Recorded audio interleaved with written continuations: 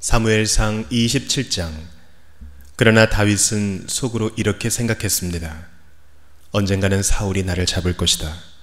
그러니 지금은 블레셋 사람들의 땅으로 도망가는 것이 제일 안전하다. 그러면 사울은 이스라엘에서 나를 찾는 일을 포기할 것이며 나는 사울에게서 피할 수 있을 것이다. 그리하여 다윗과 그의 부하 600명은 이스라엘을 떠났습니다. 그들은 가드 왕 마옥의 아들 아기스에게 갔습니다.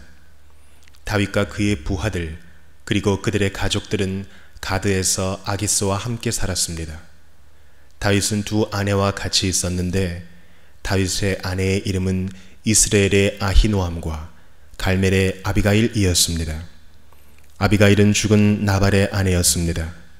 사울은 다윗이 가드로 도망갔다는 이야기를 듣고 다시는 다윗을 추적하지 않았습니다. 어느 날 다윗이 아기스에게 말했습니다.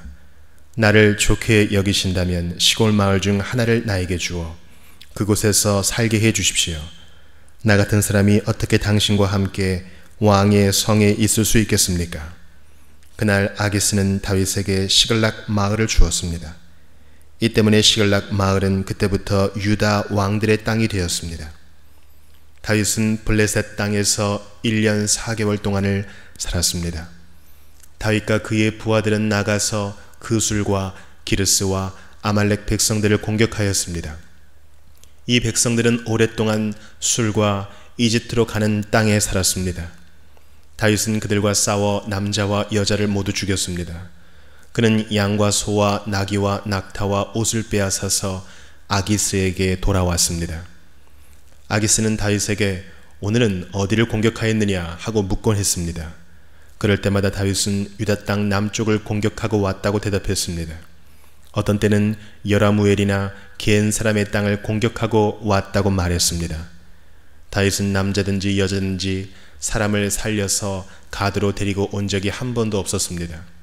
다윗은 이렇게 생각하였습니다. 만약 우리가 누구든지 살려서 데리고 오면 그 사람은 아기스에게 내가 실제로 한 일을 말할 것이다.